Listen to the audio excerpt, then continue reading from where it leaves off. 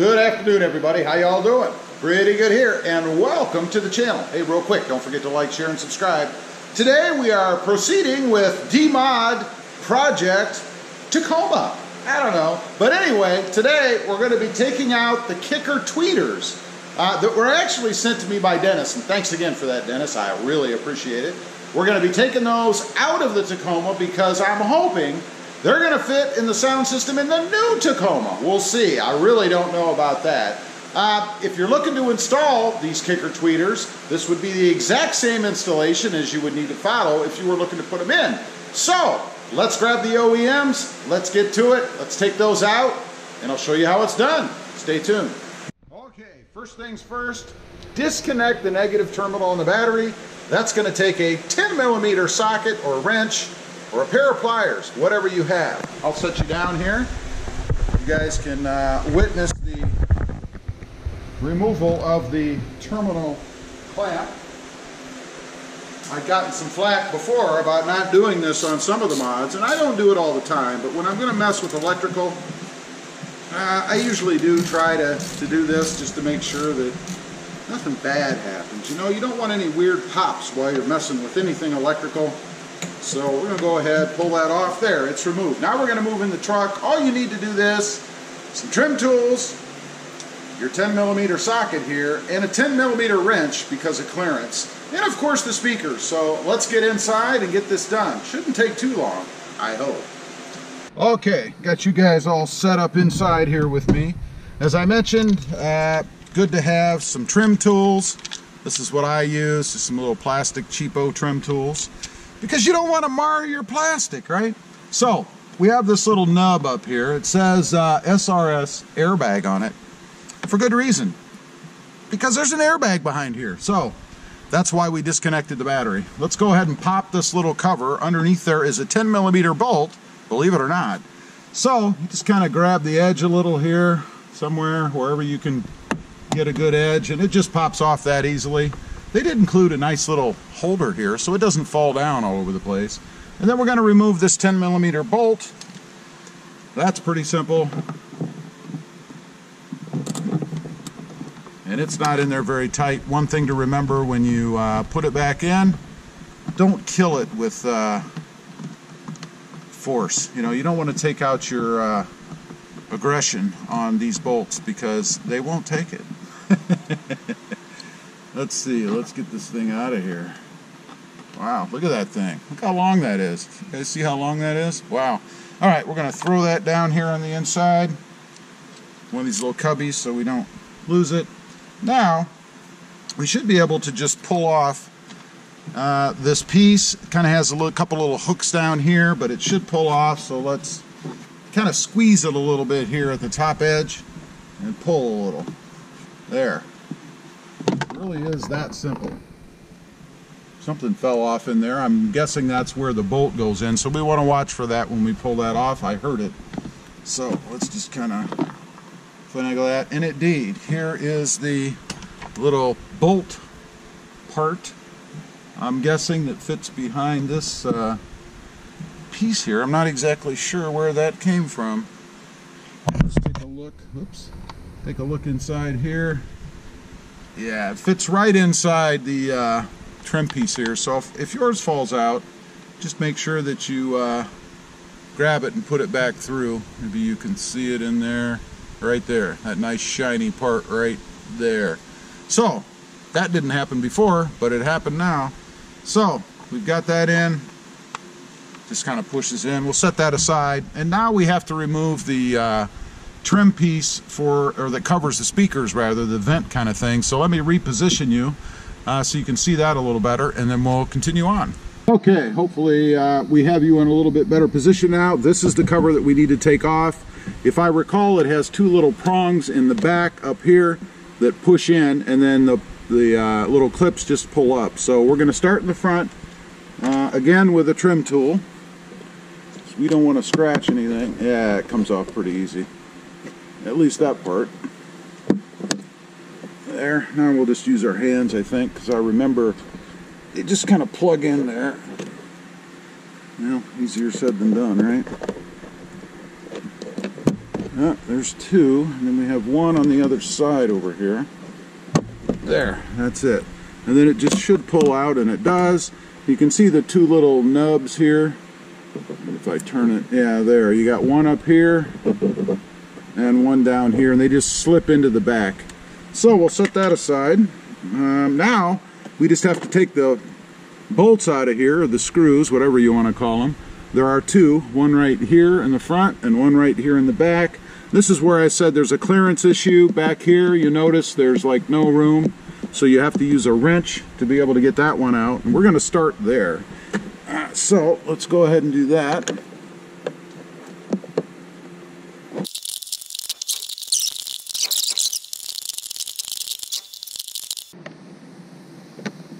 Okay, finally, we got that out. Again, look how long that thing is. Do we really need a bolt that long? I don't know. Set that aside. Let's tackle the other one with the socket. That's going to be uh, quite refreshing. I need an extension, though, it looks like.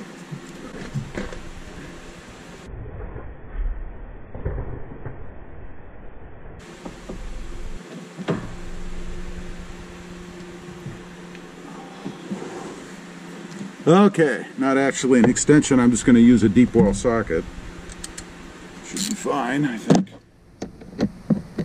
Not a whole lot of room for that either, but...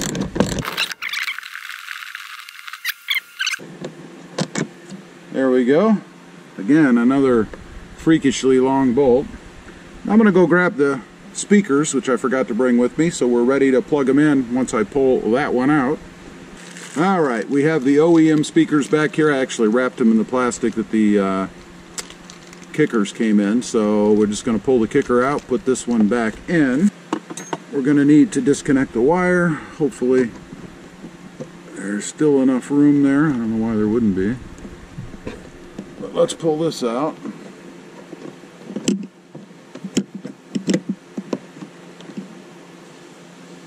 It is very, very tight in here go ahead and see if we can't pull this connector out. Ah, there we go.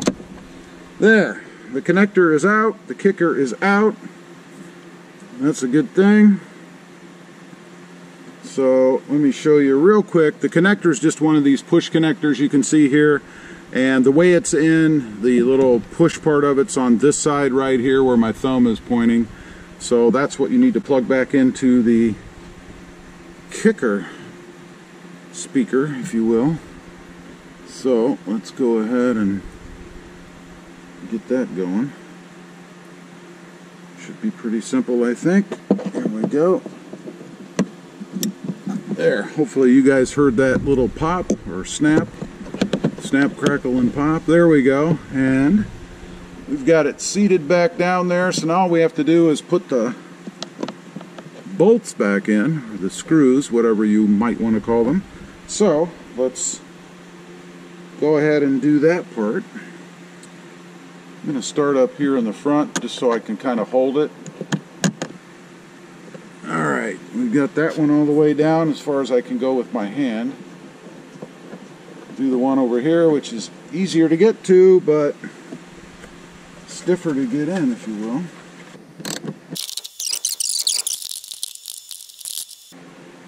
I'd say again, just about as much as you can go without really getting on it. That's all you really need to do. So let's uh, go ahead and put our cover back on now. Again, it has these two little tabs that slide in the back first. So obviously you want to make sure you get those seated in there properly. And then we should be able to just slip it down in.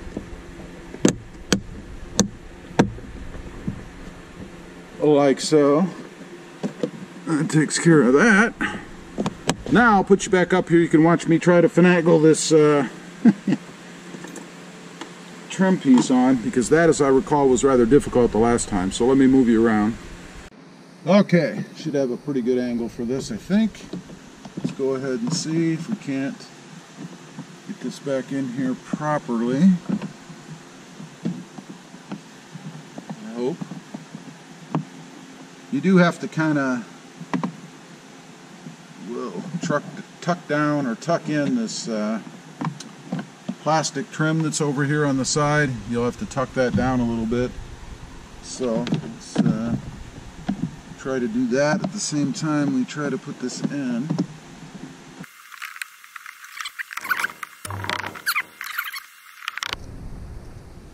And I believe that's it. Not too shabby, huh? Not too shabby for uh, an amateur. All right, let's put our bolt back in here. I should be a pro by now, really. I mean, how many times have I done this? Well, this will make two, I guess. So, let's uh, get our bolt back in up here. Yeah, you can crank on that one a little. All right, that's it. It's on. Everything looks copacetic to me, so I'm going to go ahead and fasten this back in. Our little holder. Like that. Here you go. Nice, uh, clean install. Everything looks good to me. I don't see any issues. We're going to move over to the other side. Okay, over here on the passenger side, it's going to be almost the same procedure. Dusty in here. You have to clean this thing out, that's for sure. Um, almost the same procedure. You have to remove uh, this handle, and that means undoing this and this cover. So let's do that, because behind there, there are bolts, of course, uh, that you're going to need to access. So, ah, I'm going to do this one from the bottom if possible, because the little clamp is at the top. There we go, not clamp, but holder. So there you go, you can see the two bolts, one here and one here. Pretty easy, and we don't have to use, well, we will need the wrench actually up there once we get to the cover, but let's go ahead and take these out.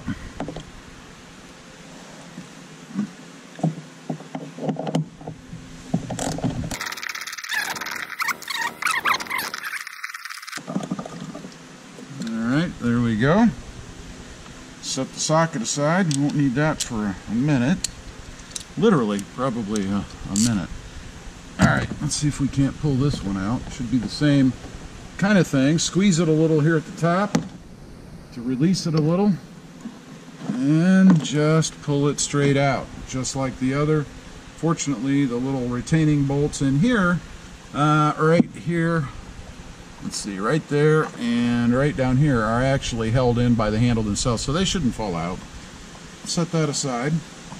Now we need to pry up this cover like we did on the other side, so let's grab our handy dandy pry tool. Again, these are invaluable if you're going to be doing any kind of mods, in my opinion. Anyway,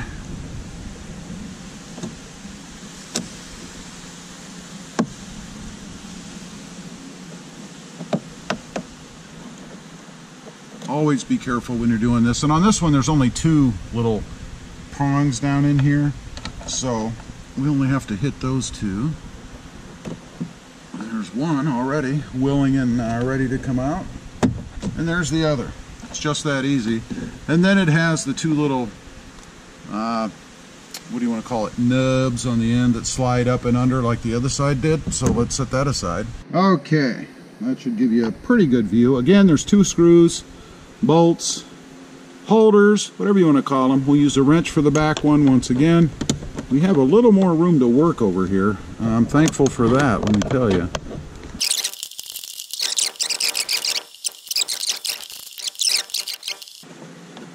Alright, got that bolt out. Let's go ahead and grab our speaker out of there. And this one, let's see, the connection thing you need to push on is on this side. Yeah, I much prefer this side. Wow, a lot more room over here. I'm a little reluctant to let go of this, so I'm not going to. I would hate to have it fall back behind the uh, the dash, you know. That could make this project a much longer experience. Go ahead and get this one out of the bag set that aside and we'll need to plug this in one thing I'll say when you're hunting for your speaker make sure you grab the right one be a real drag to take the one you just took out of the other side and put it in this side whether it's uh, a kicker you're putting in or uh, back to OEM you know so let's uh, That'd be a real drag. Snap this one in. There you go. You probably could hear that snap, I think. And then we just lay it back down like so. And let's get our screw going again to hold it in the front since that's the easier access point.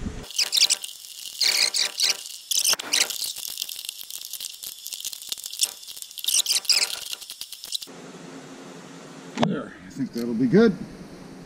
Now we just have to reassemble. So let's uh, put our cover back on over here.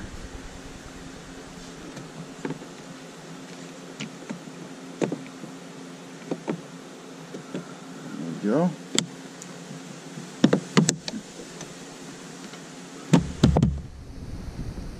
Okay, I think we're golden there. Now we need to put our trim piece back on.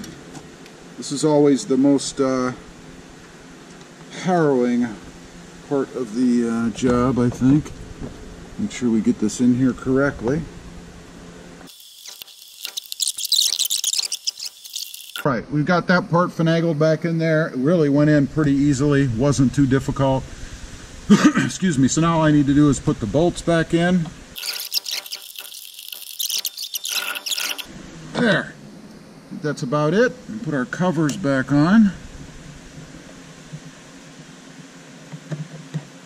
There's one. And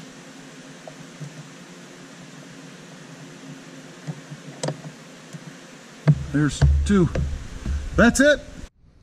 Okay, that is all there is to it. I've got the uh, kickers stored safely here in the box that they came in actually. So I'll hold on to these uh, until we get the new truck and see if indeed I can use these same speakers in the new, the new truck. I really hope so. I know they've changed the uh, the radio a little bit, but I don't think they've changed the speakers or any of that kind of stuff, and I would be shocked if they did, but we'll see. Anyway, that's how you change out uh, the speakers in your Toyota Tacoma. I highly recommend the kickers. They make a heck of a difference in uh, in sound, if you're into that thing, kind of thing.